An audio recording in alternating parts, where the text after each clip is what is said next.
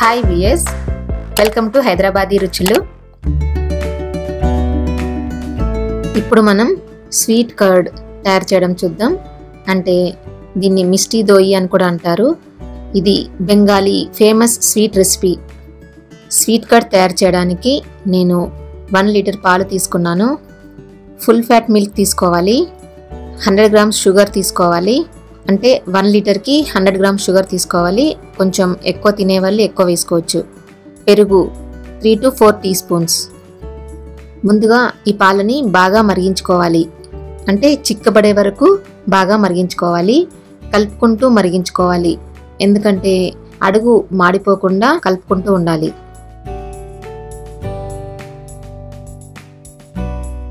పాలు మరుగుతున్నాయి కదా? ఈ మీగడంతా సైడ్స్కి అంటుకోకుండా చూసుకుంటూ మరిగించుకోవాలి. కలుపుకుంటూ మరిగించుకోవాలి. టెన్ ఫిఫ్టీన్ మినిట్స్ బాగా మరగనివ్వాలి. చూడండి పాలు బాగా మరిగాయి కదా?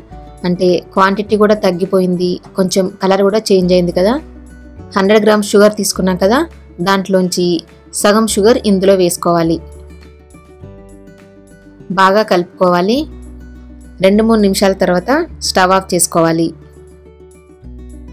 మనం తోడేసుకోవడానికి పెరుగు తీసుకున్నాం కదా మామూలుగా పాలు తోడు వేసుకోవడానికి మనకి వన్ టీ స్పూన్ పెరుగు అయితే సరిపోతుంది.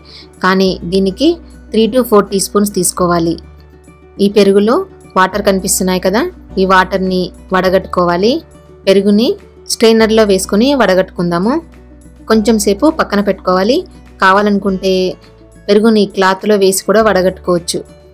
ఇప్పుడు షుగర్ని క్యారమలైజ్ చేసుకుందాము. అంటే మనకు మంచి కలర్ కోసం క్యారమలైజ్ చేసుకోవాలి. ఒక ప్యాన్లో three to four tablespoons sugar వేసుకొని బాగా కలుపుకోవాలి. స్టవ్ సిమ్లో పెట్టుకొని కలుపుకుంటూ ఉండాలి. లేదంటే షుగర్ మాడిపోతుంది. స్టవ్ని సిమ్లోనే ఉంచుకోవాలి.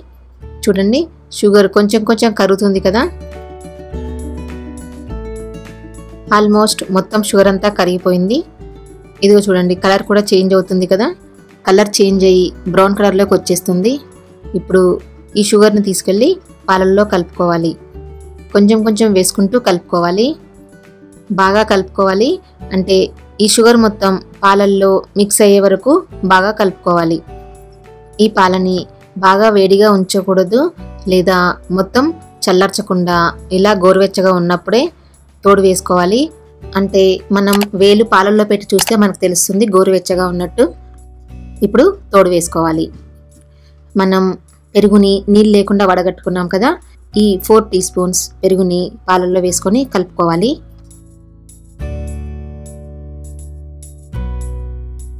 బాగా కలుపుకోవాలి బాగా కలిసేటట్టుగా కలుపుకోవాలి.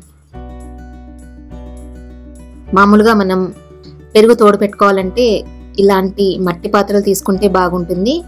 టేస్ట్ బాగుంటుంది. గడ్డగా కూడా తయారవుతుంది పెరుగు. మీ దగ్గర మట్టి పాత్ర లేకపోయినా పర్లేదు మామూలుగా మనం యూజ్ చేసుకునే వాటిల్లో కూడా వేసుకోవచ్చు.